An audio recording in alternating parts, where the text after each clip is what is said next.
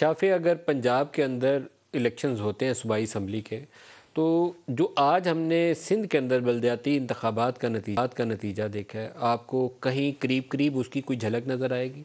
वहाँ peoples party ने dominate किया और दूसरे पे जमात इस्लामी है।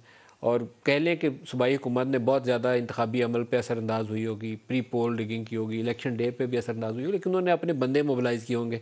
तंजीम पी टी आई की नहीं थी। पंजाब के अंदर जो लास्ट बाई इलेक्शंस थे, उसमें लगा कि पी टी आई डोमिनेट कर रही है। सीटें भी सूबाई की उन्होंने जीती बाई इलेक्शन के अंदर पंद्रह सूबाई सीटें जीत गए। और वैसे जल से देखें तो भरे हुए होते हैं। तो वो सूरत हाल देखूँ तो लगता ही है कि बाकी जमातें तो वाइप आउट हो जाएँगी। क्या नज़र आता है आपको?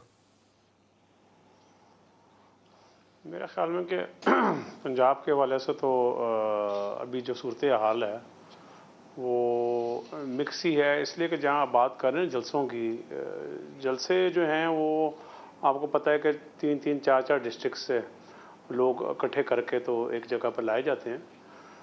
तो बाकी जो है, ये बड़ा इम्पोर्टेंट होता है कि इलेक्शन जो है वो फ्री एंड फेयर हो। इसमें तो कोई और, कोई दूसरी राय नहीं है।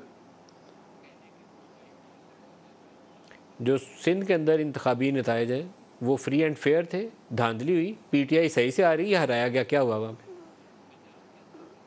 उसमें वहाँ पर तो आपको पता है कि जिस तरह हर इलेक्शन में कोई ना कोई हंगामा भी होता है, ये सारे मामला होते हैं। बाकी जो वहाँ पर कराची में, सिंध में जो लोगों से, पहले इलेक्शनों से पहले बात होती रही है तो वो तो यही कहते हैं कि जी वहाँ पर जो एम थे सिटिंग पी के, उन्होंने अपने टाइम पर कोई डिलीवर नहीं किया।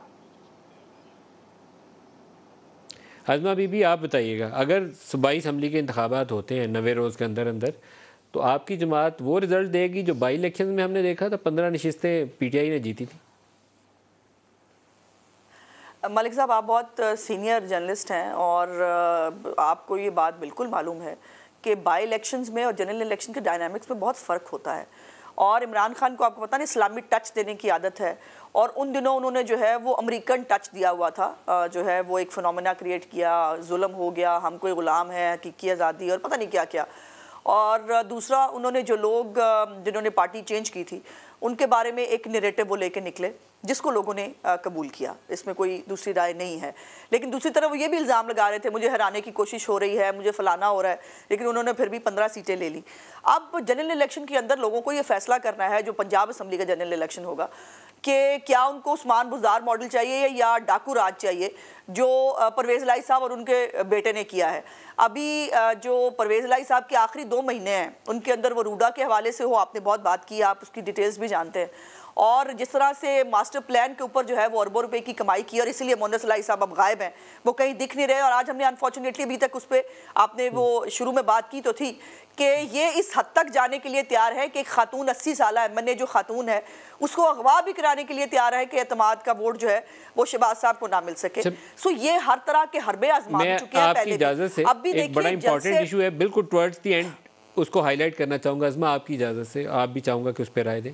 शाहिद असलम एक जर्नलिस्ट हैं जिनको एफ़ आई ए ने उठा लिया और बहुत अफसोसनाक वाक़ है उठाया उनको इसलिए गया है कि जो जनरल बाजवा के मतलब कुछ टैक्स रिटर्न छपी थी तो इसने शायद उन डॉक्यूमेंट्स को नुरानी को देने में मदद की। ये मैंने अखबार में पढ़ा कि ये उसके ऊपर इल्ज़ाम है। तो असल तो सवाल ये होना चाहिए कि वो क्या जो तफसीलात छपी थी वो टैक्स रिटर्न सही छपी थी? एसेट्स बियॉन्ड मीन का इशू है तो उसको देख लें।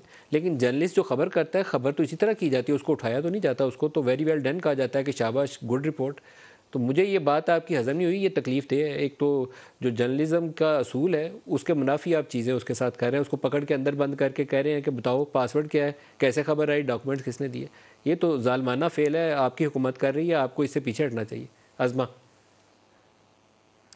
मुझे डिटेल्स का मालूम नहीं है मलिक साहब लेकिन देखिए उसको अगर उसके ऊपर एफआईआर होनी चाहिए या जो भी कानूनी तरीकाकार है और अगर उसकी गलती नहीं है तो यकीनन उसको रिहा भी होना चाहिए। मुझे इसके बारे में डिटेल्स नहीं है मैं ज़्यादा एफआईआर क्यों होनी चाहिए? मैं खबर रिपोर्ट करूँ तो मेरे पे एफआईआर दर्ज होगी? किस असूल के तहत होगी? नहीं होनी चाहिए। मुझे नहीं मालूम ना देखिए देखिए मुझे मुझे मालूम नहीं है मलिक साहब हो सकता है कि सिर्फ़ खबर की वजह से नहीं कोई आ, कोई आ, जो ब्रीच है किसी कानून का ब्रीच हुआ हो किसी चीज़ का ब्रीच हुआ कोई ब्रीच नहीं है मालूम नहीं ये है ये दुरुस्त तरीकाकारी नहीं है। देखिए ये पिछले चार साल भी यही काम होता रहा है वो अबसार को गोली लगी असद तूर को मारा गया नुरानी को या मार पिटी और पता नहीं किस किस के साथ ज़्यादा हुई मतीउल्ला को उठा के ले गए।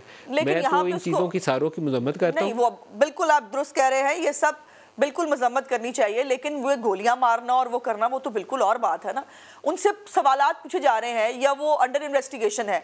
मेरी ज़ाती राय में अगर आप पूछे, नहीं होना चाहिए। लेकिन अगर एफ़ ने ये किया है तो उनके पास कुछ जस्टिफिकेशन होनी चाहिए।